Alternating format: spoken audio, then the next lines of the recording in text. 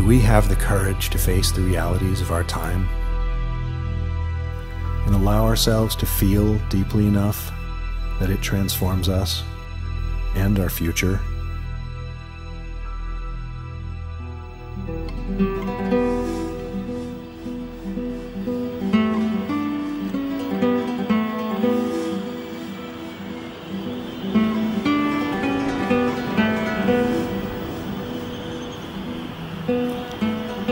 Come with me on a journey through the eye of beauty.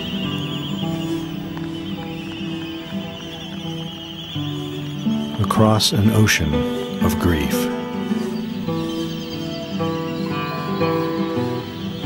And beyond.